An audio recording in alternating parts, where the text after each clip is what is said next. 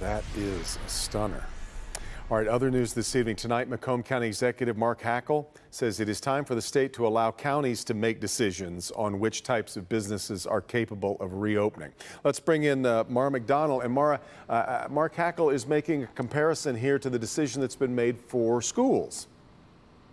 Devin, that's exactly what he is saying. He says, look, the state has allowed each individual school district to chart its own course, make decisions that work for each individual district as far as a restart with COVID 19. He says the same thing should be granted to counties. Take a listen allow us to make the decision to work with our, whether it's the gyms, whether it's the uh, uh, entertainment venues like uh, Emagine Theater or the ice arenas, the roller rinks. Allow us to work with them because you know what?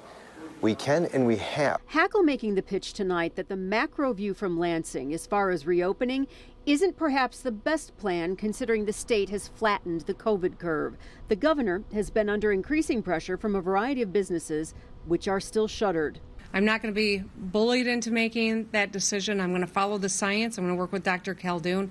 But we are looking very closely at those businesses that have um, been closed for the duration. And there was a protest on the Capitol steps today from parents and students who want high school sports like football to be played. Their message let us have a say in what happens here, which is exactly Hackel's point. I think it's time. I think it's time based upon the numbers. And when I say numbers, at a time when we had 47 test positive rate, and now we're down to 7% test positive rate. At a time when we had 600 deaths, and now we're looking at only 16. Hospitals are not inundated, and our health department is following up with a lot of these, if you will, uh, contact tracing. We are prepared, and we can handle it.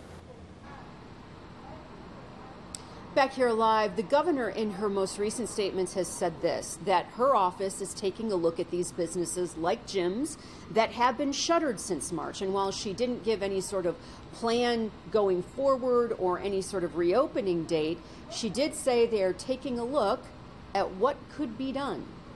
We're live in Birmingham tonight. I'm Mara McDonald.